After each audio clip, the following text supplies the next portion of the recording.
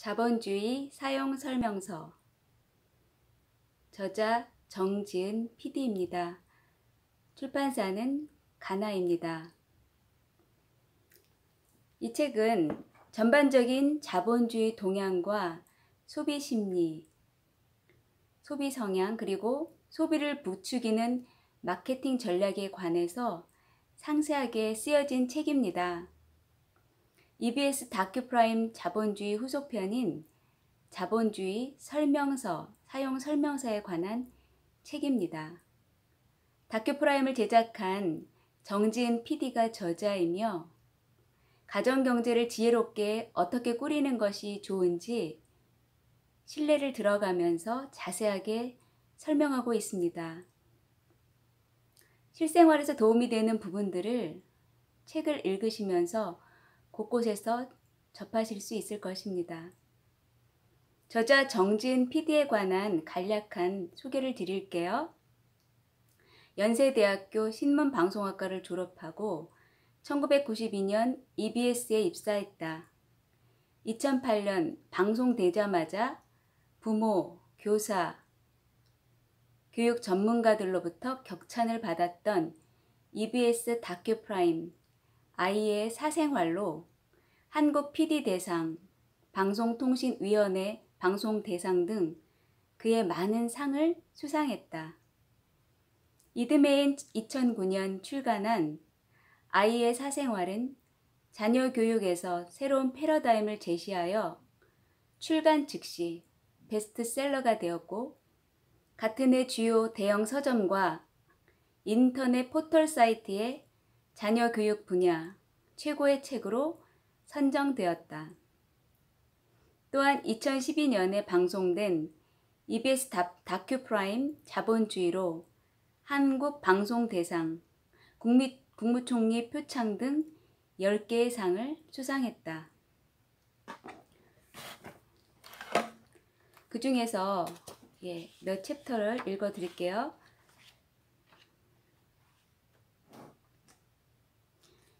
금융 피해를 입어도 책임은 당신에게 있다.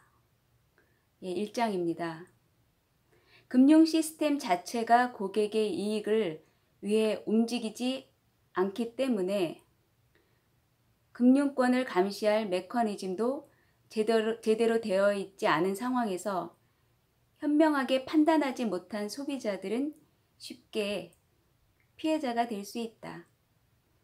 정부 차원에서도 금융권을 감시할 메커니즘은 꼭 필요하지만 고리대금이나 위험한 상품 판매를 금지하는 제도는 아직 마련되어 있지 않다.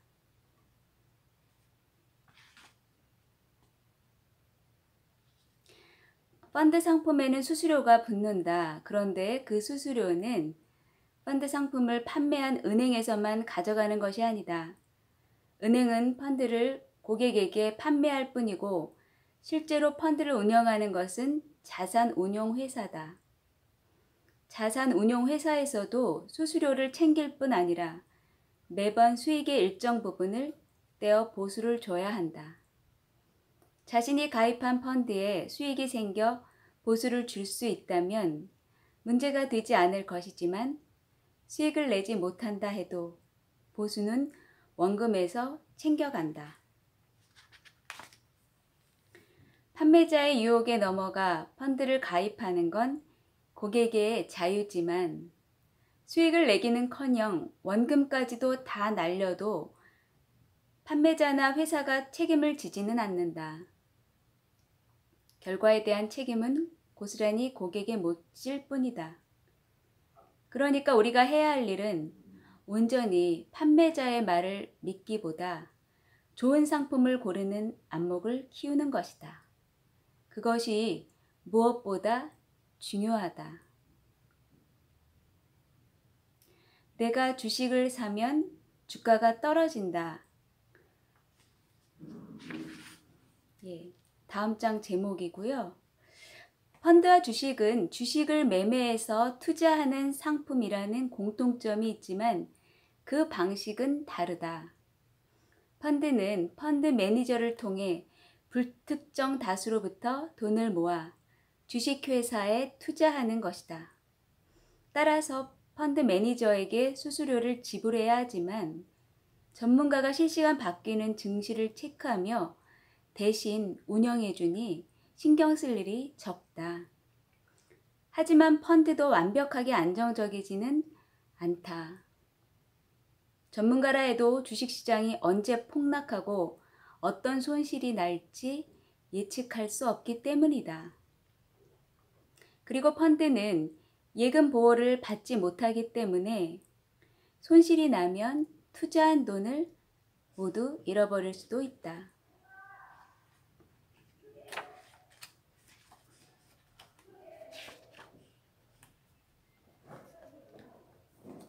내 삶의 불확실성은 국가가 책임지지 않는다라는 장입니다.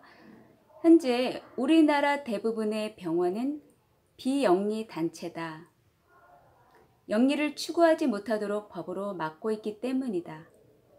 이를테면 의료 서비스로 벌어들인 돈은 다른 곳에 쓰이지 못하고 의료 서비스에 재투자하게 되어 있다 하지만 민영화가 될 경우에 대학이 돈벌이에 맛을 들여 슬금슬금 등록금을 올리는 것처럼 병원도 돈을 버는 데만 혈안이 될 확률이 높아진다.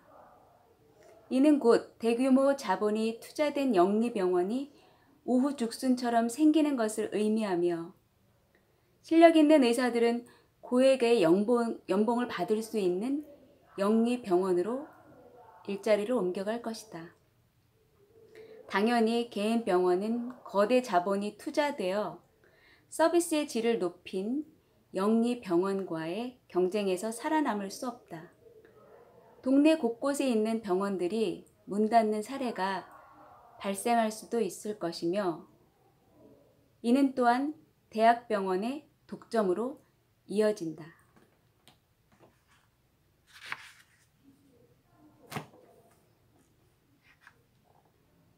내 집 마련은 내 집 마련을 일생의 목표로 둘 것인가 라는 제목의 장입니다.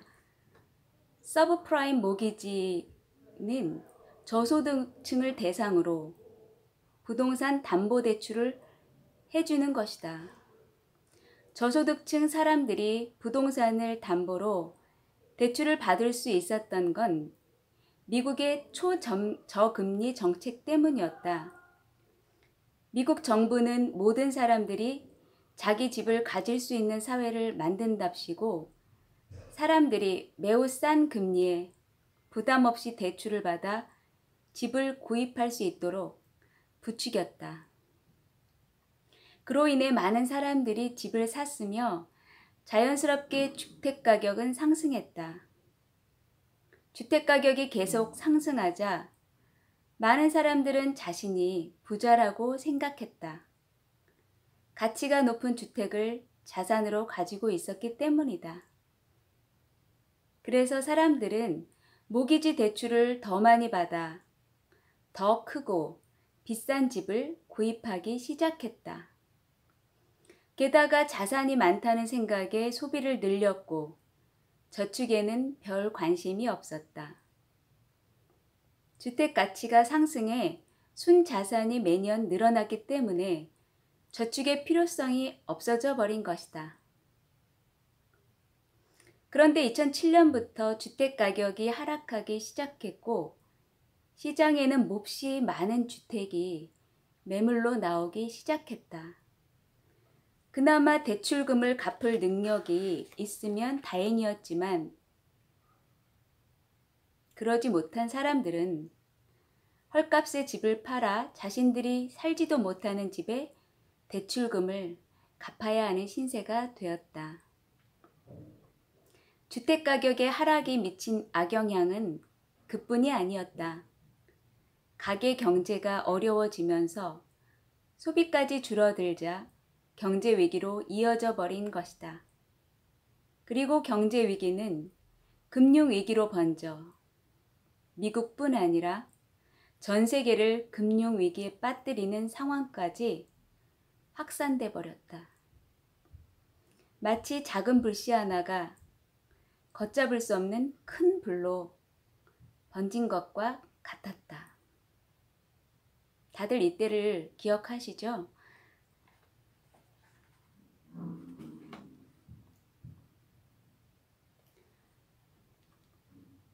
카드 명세서는 예상치 못한 목, 목록을 품고 온다. 그런 제목의 장이고요. 현대의 쇼핑몰이나 슈퍼마켓은 반드시 시계 반대 방향으로 만들도록 설계되어 있다.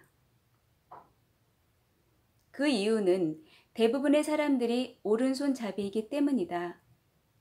그래야 상품을 집어들기 쉬우며 멀리 있는 상품까지 손을 뻗을 수 있다.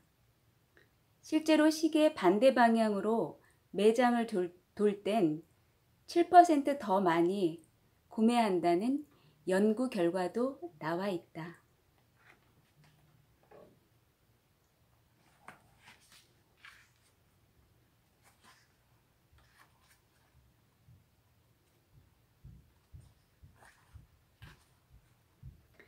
인간은 무엇을 소비할 때 뇌에서 여러 반응을 일으킨다.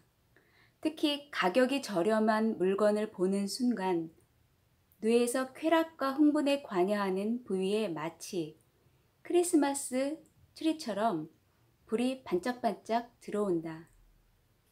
가격 자체가 소비자를 유혹하는 것이다. 그런데 흥미로운 사실은 구매를 하고 나면 쾌락을 유도한 이 부위에 더 이상 불이 들어오지 않는다는 것이다. 쇼핑하는 순간의 짜릿한 흥분은 곧 사라져버리는 신기루와도 같다.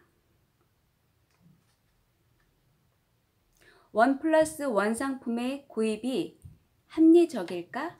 라는 제목의 장입니다. 그런데 기업은 정말 손해보는 장소, 장, 음, 손해보는 장사를 각오하면서까지 one plus one 장사를 행사를 하는 것일까? 당연하게도 기업이 one plus one 행사를 하는 데에는 분명한 목적이 있다. 이를테면 재고 정리, 창고 비용 절감, 쓰레기 처리 비용 절감 등과 같은 비용 문제를 해결하기 위한 목적이거나 신제품 홍보, 인기 없는 상품을 끼어 팔기 등의 판매 효과를 높이기 위해서다. 시장에서 손해를 보고 판다는 상인에게 에이, 손해보고 하는 장사가 어디 있어요? 라고 반문하듯 기업 역시 손해보고 장사를 하지는 않는다.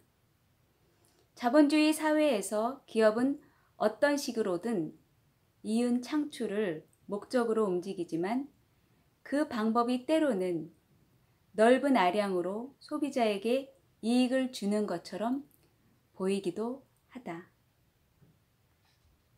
보이기도 한다.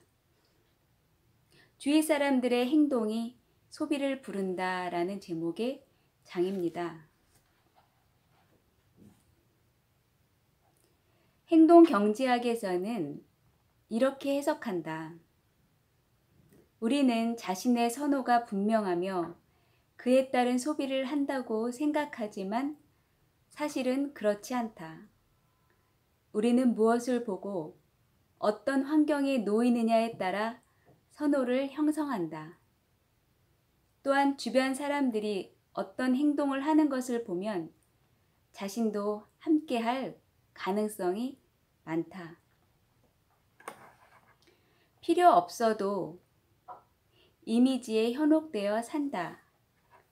라는 제목입니다.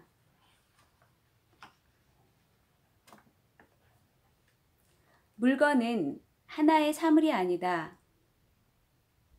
그 물건에 부여된 사회적 이미지가 중요해졌다. 기업은 당신이 이 제품을 쓰는 순간 다른 사람보다 높은 가치를 지닌 존재로 거듭난다고 끊임없이 속삭이며 우리 역시 그 속삭임을 들으며 물건의 또 다른 가치를 입혀버린다. 실제로 그런 물건을 가져도 자신의 삶에서 손톱만한 변화도 일어나지 않는다는 걸 깨달을 때가 많지만 적어도 그 물건을 사는 순간만큼은 이제까지 자신과는 다른 무엇이 된 것 같은 기분마저 든다. 밤 12시가 되면 마법에서 풀려 초라한 소녀로 돌아가야 하는 신데렐라처럼 그 시간은 매우 짧고 허무하지만 그나마 그런 감정을 한 번이라도 느끼기 위해 우리는 지갑을 여는데 크게 주저하지 않는다. 자존감을 높여야 돈을 덜 쓰게 된다라는 장입니다.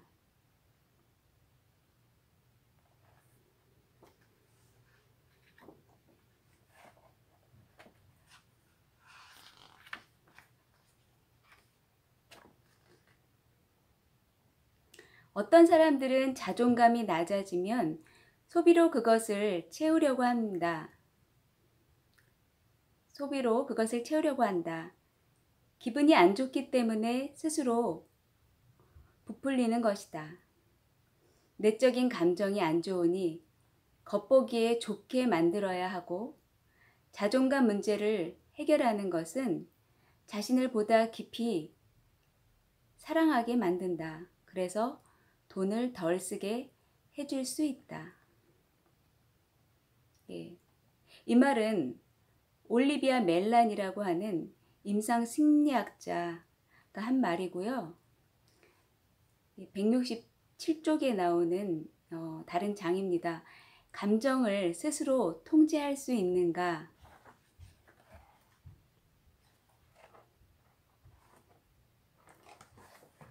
인간은 우울하면 현대, 현재를 과대평가하는 경향이 있다.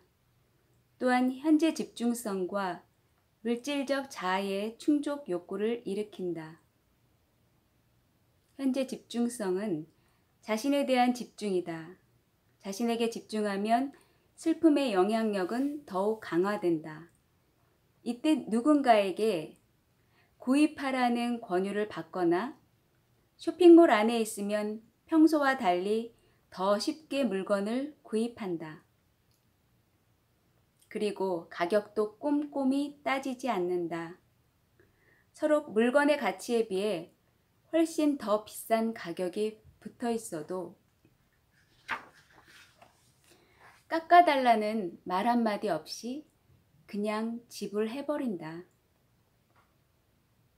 아껴 쓰고 싶어도 아껴 쓸 수 없는 사회라는 장이고요.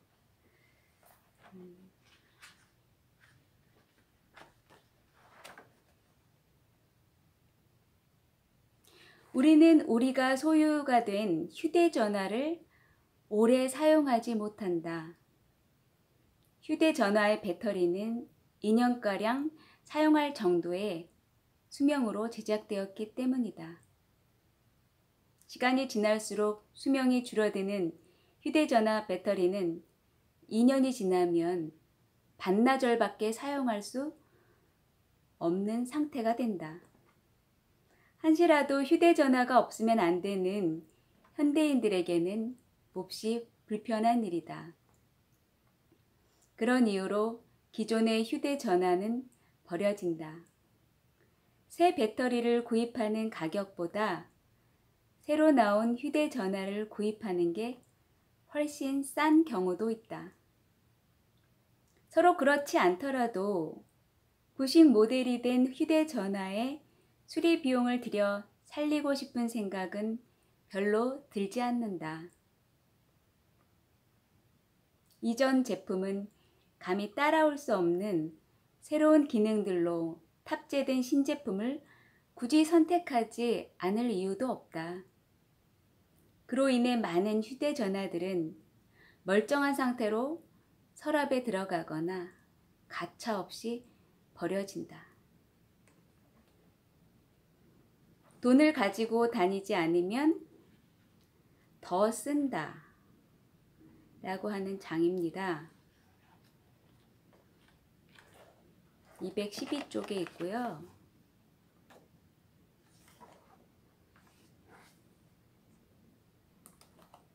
돈의 가장 중요한 형태는 지폐나 동전이 아니다.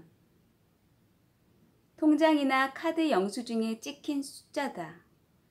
돈이 이처럼 다양한 형태를 지니면서 금융의 역할도 이전 사회보다 훨씬 더 복잡하고 거대해졌다. 예전 금세공들이 금고에 있는 금보다 더 많은 사람, 금을 사람들에게 빌려주었듯 은행도 은행에 있는 돈보다 더 많은 돈을 기업이나 사람들에게 빌려주는 것으로 돈을 번다. 이를테면 은행에 돈이 10원밖에 없다 해도 은행은 100원이나 1000원을 기업과 사람들에게 대출해 준다. 저축과 대출이 1대1이 아니라 1대10 또는 1대100이 되는 것이다.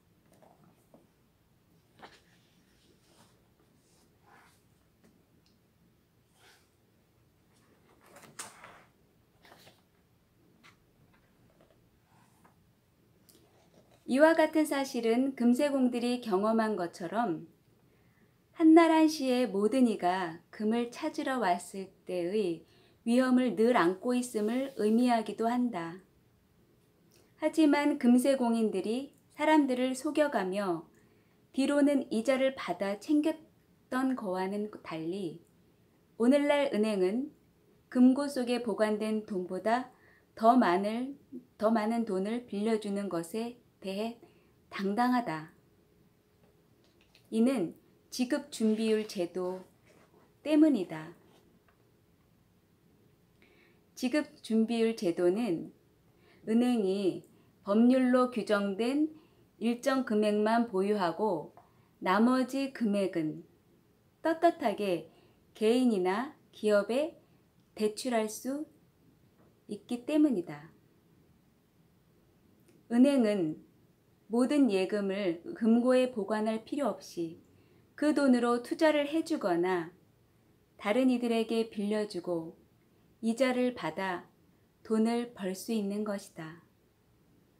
하지만 은행은 이 같은 사실을 솔직하게 밝히지 않는다. 예금한 돈을 찾으러 갔을 때 예금한 돈은 언제든 돌려줄 수 있다는 입장을 취하며 당신의 예금을 우리가 아주 유용하게 활용했으며 다른 사람에게 대출해 줬습니다. 따위의 말은 굳이 하지 않는다. 은행이 이 모든 일을 문제없이 할 수 있는 건 많은 거래가 화폐에 의해 이루어져 왔고 이루어지지 않고 단지 숫자로 오가기 때문이다.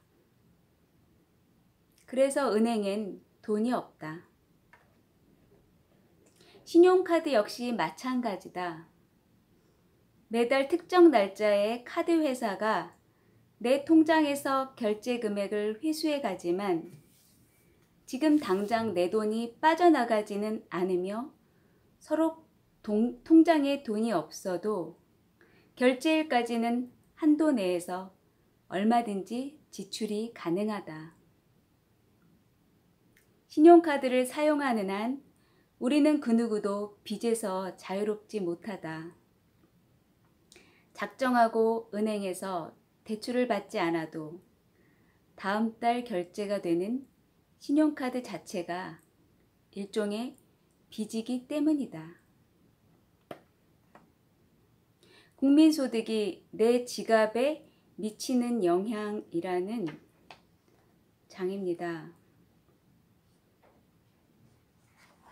1인당 국민소득은 높아졌고 삼성전자의 영업이익은 29조 원에 육박하며 명품 매출은 7% 상승했다는 등의 소식들이 들린다.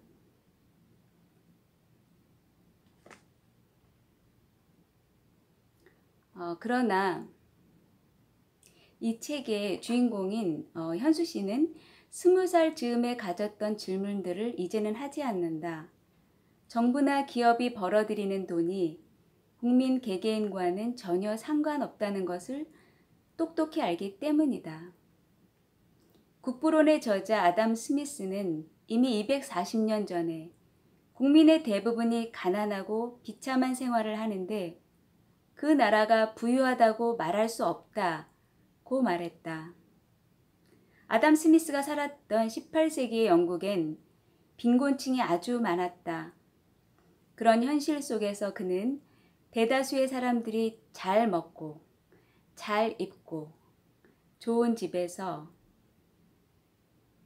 살 수 있어야 공평한 것이 아닌가 고민했다. 이 같은 고민은 빈곤을 탈출해 모든 사람이 잘 사는 세상을 만드는 방법으로 진지하게 이어졌다. 그렇게 해서 나온 책이 국부론이다. 국부론의 원제는 국민들의 부의 성질과 원인에 관한 연구다. 즉, 국민이 부유해야 나라도 부강해진다는 것이다. 각 개인이 최선을 다해 자기 자본을 본국 노동의 유지에 사용하고 노동 생산물이 최대의 가치를 갖도록 노동을 이끈다면 굳이 공공의 이익을 증진시키려 애쓰지 않아도 자연스럽게 공공의 이익을 촉진할 수 있다. 어찌 보면 단순하면서도 명확한 산술이다. 한 국가의 인적 요소를 구성하고 있는 국민들이 부유하다면 당연히 그 국가 또는 부강할 수 밖에 없다. 그런데 오늘날의 현실은 아담 스미스가 그린 세상과는 다른 모양새를 지니고 있다. 상위 몇 프로의 사람들만 부를 축적하게 되는 빈익빈 부익부의 시스템이 몹시 견고하게 버티고 있기 때문이다. 자본주의는 분명 부의 생산 엔진이다. 계속해서 부를 생산하고 그것을 위해 사회를 재편성하거나 조직한다. 그런데 그 혜택은 모든 사람들에게 골고루 분배되지 않는다. 그렇다면 누구를 위한 부일까? 무엇을 위한 부일까? 도대체 이 세상은 어떻게 생겨 먹었기에 부자 국가의 가난한 국민이라는 이상한 말이 현실이 되었을까?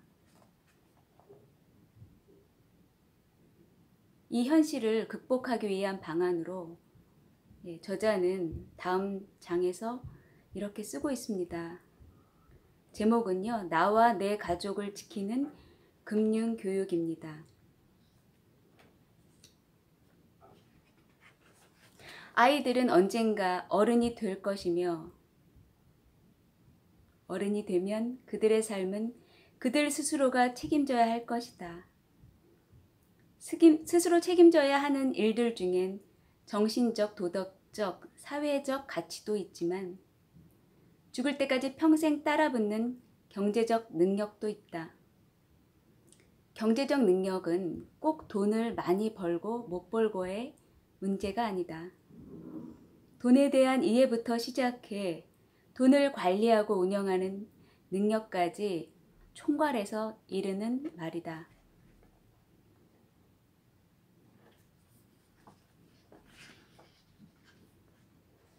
예, 이 금융 교육을 어, 뒷받침하는 내용으로 석학들에게 예, 묻는 그런 내용들이 나옵니다. 석학들이 한 대답 을 읽어 드릴게요. 미국 시카고 재무관 스테파니 닐리는 이렇게 말했죠. 어릴 때 받는 금융교육은 큰 영향을 준다. 금융교육은 어릴 때 시작해야 하고 금전적인 선택의 문제에 대해 계속해서 인식시켜야 합니다. 만 8세 정도가 되면 많은 정보를 흡수하는 시기죠. 이때 받는 금융교육은 큰 영향을 줍니다. 복잡한 금융 상품에 대한 이해력을 이야기하는 것이 아닙니다. 기본적인 자산 관리를 말하는 것이죠. 아이들에게 기본을 가르치면 나중에 자라서 복잡한 금융 상품도 이해할 수 있습니다. 저는 저축, 소비, 키움을 가르치며 늘 이 표어를 말하죠. 당신의 돈, 당신의 선택입니다. 자신에게 선택권이 있다는 것을 알리기 위해서요. 미국 하버드 대학교 경제학과 교수 제프리 아이로는 이렇게 말했습니다. 기본적인 경제 개념은 어린 나이에도 가르칠 수 있다. 어린아이들에게도 많은 기본적인 경제 개념을 가르칠 수 있다고 봅니다. 6살에서 8살인 아이들에게 용돈을 모으라고 해요. 미국에서는 보통 부모가 아이들에게 일주일에 한 번씩 용돈을 주죠. 그걸 모으면 나중에 돈이 더 많이 생긴다는 것을 가르쳐 줍니다. 지금 안 쓰면 나중에 돈이 많아진다는 매우 근본적인 가르침이죠.